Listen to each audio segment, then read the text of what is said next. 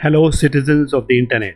Today I'm going to discuss HELLP syndrome. This is the last video from my series on hypertensive disorders in pregnancy. HELLP syndrome is an acronym that stands for H for hemolysis, EL for elevated liver enzymes, and LP for low platelet count. HELLP syndrome is a potentially life threatening condition. Whether HELLP syndrome is a complication of preeclampsia or a variant, that is, it is an entity by itself with features similar to preeclampsia, is unknown. In order to understand the management of this dreadful obstetrics complication, it is imperative that you watch my other related videos. Preeclampsia Part 1, Preeclampsia Part 2, where I have discussed the pathophysiology of the disease, especially how our understanding of the etiology has changed in recent times. Preeclampsia Part 3, where I outline the management of preeclampsia. In Part 4, I have discussed postpartum preeclampsia. And please also watch other individual videos on the drugs essential for the management of the disease that is magnesium sulfate, alpha methyl dopa, and labetalol.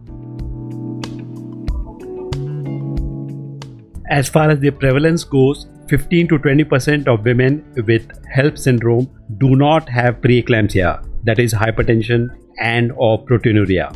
On the other hand, 10 to 20% of women with severe preeclampsia will develop HELLP syndrome.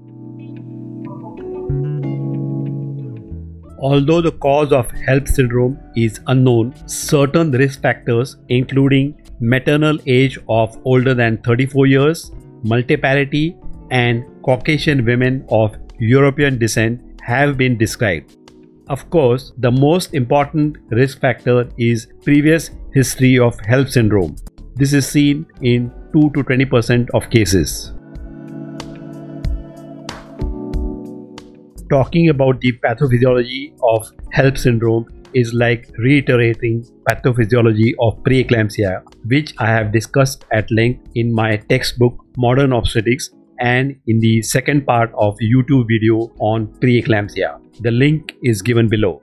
Hence, I will discuss only the relevant points here. The pathophysiology of HELLP syndrome is ill defined.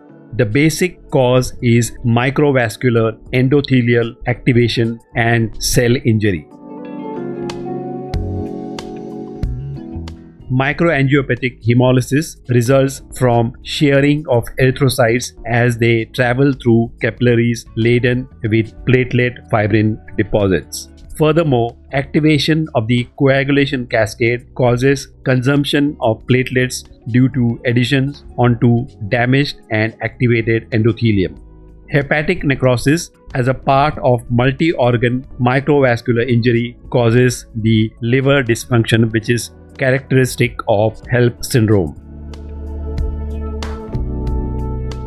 Many hypotheses for example, a placental instigated acute inflammatory condition targeting the liver and liver damage secondary to insufficient mitochondrial oxidation of fatty acids have been described to define the pathogenesis of HELLP syndrome. But the true pathology remains a mystery. HELLP syndrome has life threatening complications like abruptio placentae, subcapsular hematoma of liver, hepatic rupture, DIC, pulmonary edema, and acute renal failure. Maternal mortality associated with this syndrome is 1 to 10%, and fetal mortality is 10 to 60%. Although many of the signs and symptoms are similar to those of severe preeclampsia, there are certain pointers to the existence of the syndrome. Right upper quadrant pain is seen in 30 to 90% of cases, as also epigastric pain. These are due to stretching of the liver capsule and sometimes due to severe complications like subcapsular hematoma or rupture. Other clinical features are severe nausea and vomiting late in pregnancy. Headache is seen in 30 to 68% of these women. Visual changes are seen in 10 to 20% of cases. Jaundice is uncommon. It is seen in only 5% of cases. However, it points more towards the possibility of HELLP syndrome rather than preeclampsia. It goes without saying that laboratory investigations are must for diagnosis of the condition. The following investigations are done. CBC, peripheral smear, haptoglobin levels which are decreased secondary to hemolysis, liver function tests, elevated AST, ALT and LDH and bilirubin may be raised. Prothrombin time is normal but partial thrombin time may be variable that is normal or high. Serum amylase and lipase levels are required sometimes to differentiate this condition from acute fatty liver of pregnancy. Of course, they are normal in HELLP syndrome. Renal function tests, BUN and serum creatinine levels are elevated. Coagulation profile, fibrinogen levels are low secondary to coagulation defects and D-dimer levels may be increased due to fibrinolysis or DIC. CTA and MRI of the liver or abdominal ultrasonography may be done to rule out subcapsular hematoma in the liver, especially when there is worsening of liver enzymes. This peripheral smear shows schistocytes, helmet cells, and Burr cells secondary to microangiopathic hemolytic anemia, which is characteristic of HELLP syndrome. Here is an abdominal sonography showing subcapsular hematoma.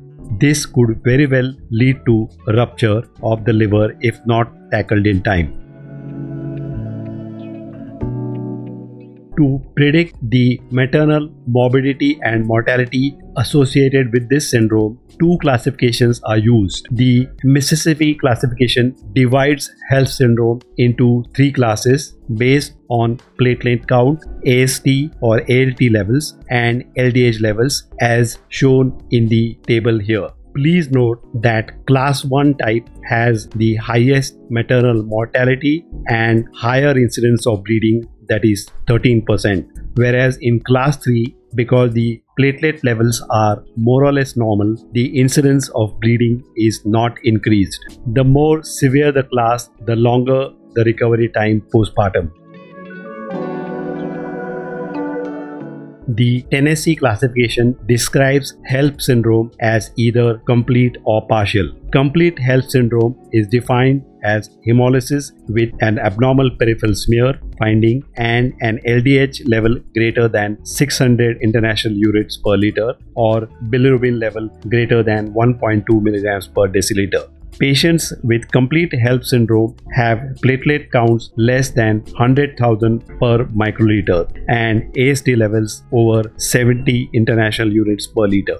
Partial HELLP syndrome describes severe preeclampsia plus some features of HELLP syndrome. For example, LP, where there is only thrombocytopenia, HEL syndrome, where there is hemolysis, elevated liver enzymes, but no thrombocytopenia, and ELLP syndrome, that is elevated liver enzymes levels and low platelets, but there is no hemolysis.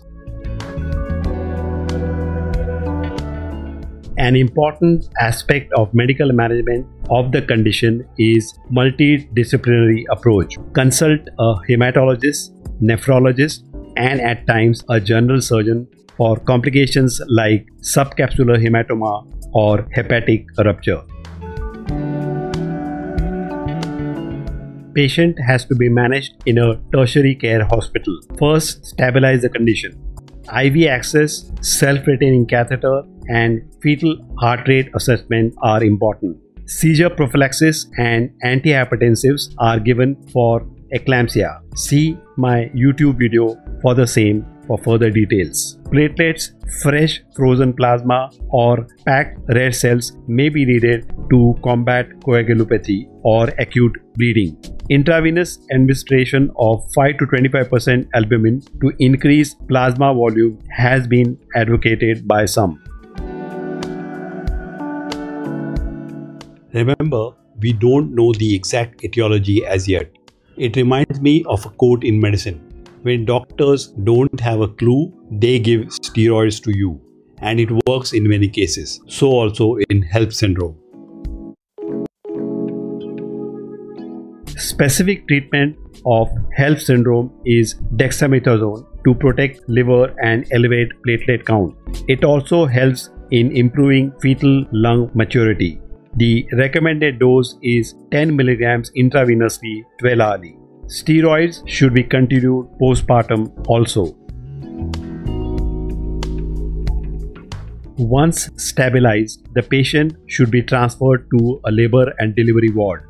The question is when to deliver unstable patient can be delivered immediately irrespective of fetal status to save mother's life. If the gestational age is greater than 34 weeks and patient is stabilized, betamethasone is given for 48 hours to improve fetal lung maturity and then the patient is delivered. If gestational age is less than 34 weeks, but the patient is stable, betamethasone can be given for 48 hours to improve fetal lung maturity and then evaluate for delivery. Prolong pregnancy as long as you can to increase the chances of fetal survival without jeopardizing maternal life. The mode of delivery can be vaginal or cesarean depending on the situation, as I have mentioned in the eclampsia management video. If cesarean delivery is planned, which is more often, notify anesthesiologists regarding low platelet count as it affects their decision making. Neonate may require NICU care. Special anesthesiology considerations are as follows. Local anesthesia can be used for vaginal delivery, but pudendal block is contraindicated. Epidural anesthesia should be used with caution. Many anesthesiologists are reluctant to put in an epidural catheter if platelet count is less than 75,000 per microliter. Special considerations in cesarean delivery are if platelet count is less than 75,000 per microliter, give general anesthesia. If platelet count is less than 40,000 per microliter, give preoperative platelet transfusions of 6 to 10 units. Meticulous repair of uterine incision is important. Leave the uterovesical fold of peritoneum open to prevent a hematoma formation. Before closing the abdomen, inspect the liver for subcapsular hematoma or hepatic rupture. Keep a subfascial drain for 24 to 48 hours because hematoma formation at the wound site can occur in 20% of cases. Secondary closure of the skin may be required. Post operative infusions may be needed. Close surveillance of these patients in the postpartum period is important. As I have said, for management of eclampsia, the patient is not out of the woods after delivery. She can worsen after the baby and placenta are out. Remember, 30% of HELLP syndrome occur after delivery. The thing to keep in mind is that most patients will experience a period of clinical and laboratory deterioration followed by gradual recovery. The average recovery time for most laboratory parameters is 3 to 5 days, but for platelets, it may be as long as 11 days. Hence, the patient should be managed in an ICU until there is improvement in platelet count, urine output, blood pressure, and liver enzymes. Continue glucocorticoids after delivery. After recovery, steroids should be slowly tapered off. Refractory patients with delayed recovery represent a clinical dilemma. Exchange plasmapheresis with fresh frozen plasma has been advocated by some for this situation. I would like to end by saying that, like eclampsia, women with HELLP syndrome are also at an increased risk of developing hypertension and cardiovascular disease later on in life. Lastly, an appeal to students attending this masterclass. Please read my textbooks Modern Gynecology, Modern Obstetrics, whose new fourth edition has just been released, and the ever popular Practical Obstetrics and Gynecology.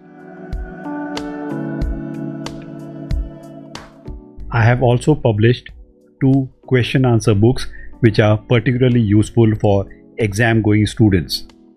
These are Clinical Cases in Obstetrics, 1000 plus questions and answers, and Clinical Cases in Gynecology, 1000 plus questions and answers.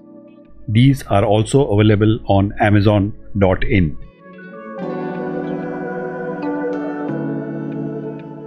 You can also follow me on other social media platforms like Facebook and Instagram. The links are given here.